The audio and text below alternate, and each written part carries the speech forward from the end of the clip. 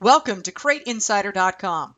In this tech video, we are demonstrating how to change valve springs. The tool we are using is LSM Racing Products SC800 Valve Spring Changer.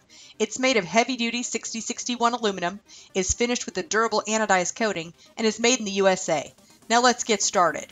To prepare, we have already removed the valve cover as well as the rocker arms and the push rods from the cylinder we are working on.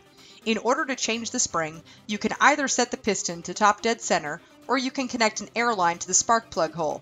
We have decided to connect an air line. The tool can be used on engines with a 3 8 inch stud or a 7 16 inch.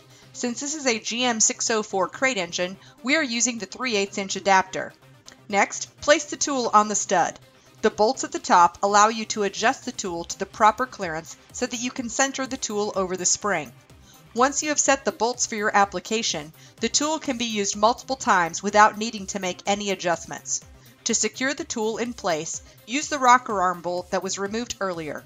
Place it in the hole, hand tighten, and then lock it down with a wrench. This will keep the tool stable when we apply pressure to the spring.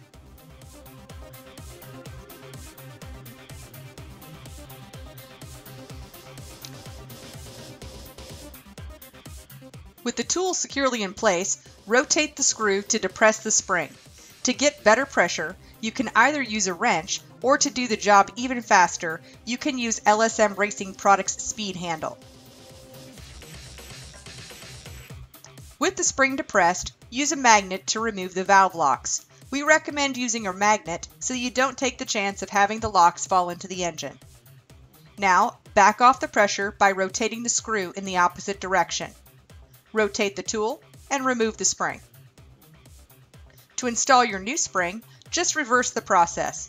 With the spring in place, rotate the tool so that it is centered on the spring. Rotate the wrench or the speed handle to depress the spring. Now replace the valve locks.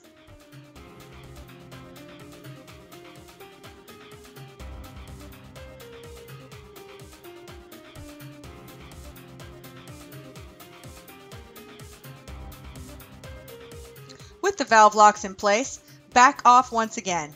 With the spring now installed, you can remove the rocker arm bolt and you are ready to start the process on the next spring.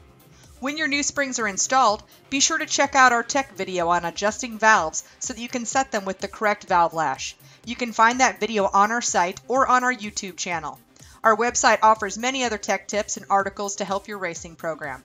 And to purchase the LSM Racing Products SC800 valve spring changer, as well as many other great products, visit our online store at crateinsider.com. Thanks for watching.